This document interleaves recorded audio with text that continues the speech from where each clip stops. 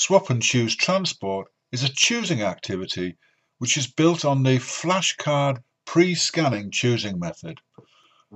It's designed for people who are learning to use two switches to make choices on the computer. First select the colours of the switches that you're going to use. You might also want to download the switch caps which you can get from the resources section of this website. When you're ready to start, click here.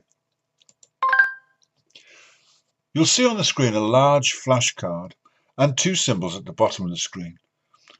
The symbol to the left denotes switch 1 and shows the colour that you've chosen. It also shows the symbol for change. The symbol on the right denotes the second switch showing the colour that you've chosen and the symbol for choose. Pressing switch 1 changes the flashcard that's displayed on the screen. Each time you press it, it will show a new flashcard.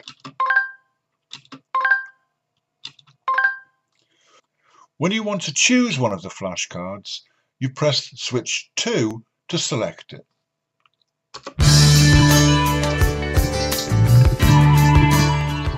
This method of choosing can be quite useful for students who are just beginning their journey towards formal switch scanning.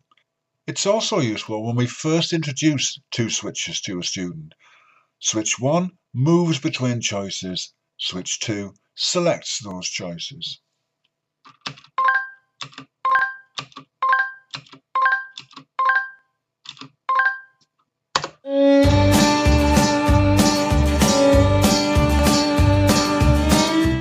Swap and Choose Transport is just one of a large collection of accessible activities you'll find on this website. We hope your students enjoy using them.